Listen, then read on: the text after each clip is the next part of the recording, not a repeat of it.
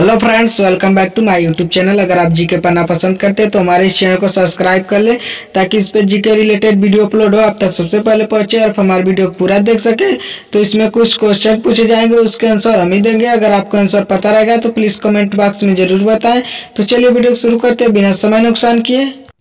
Question number one सबसे छोटा कोश का अंक कौन सा है? आपका समझ शुरू होता है अब।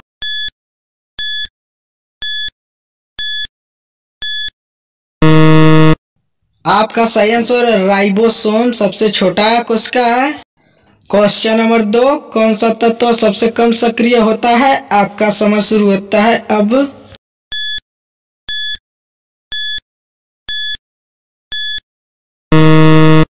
आपका सही आंसर है शीशा जो सबसे कम सक्रिय होता है? क्वेश्चन नंबर तीन, संविधान सभा के प्रारूप समिति में कुल कितने सदस्य होते हैं? आपका समय शुरू होता है अब।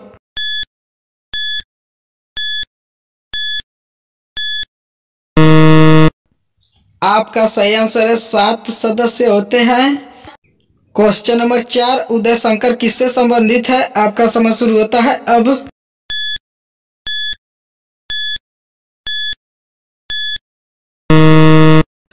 आपका सही आंसर है नृत्य से संबंधित है।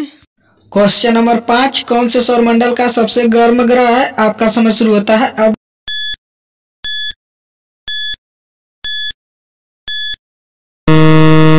आपका सही आंसर है बीनस शुक्र। क्वेश्चन नंबर छह, कौन सी गैस अल्कोहल सोडियम से प्रक्रिया करके मुक्त करती है? आपका समय शुरू होता है।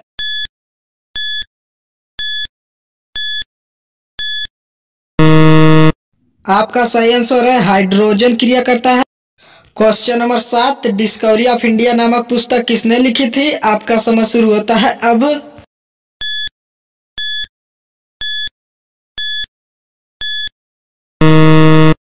आपका सही आंसर है जवाहरलाल नेहरू ने लिखा था, क्वेश्चन नंबर आठ, राष्ट्रीय रक्षा अकादमी कहाँ स्थित है? आपका समय शुरू होता है अब.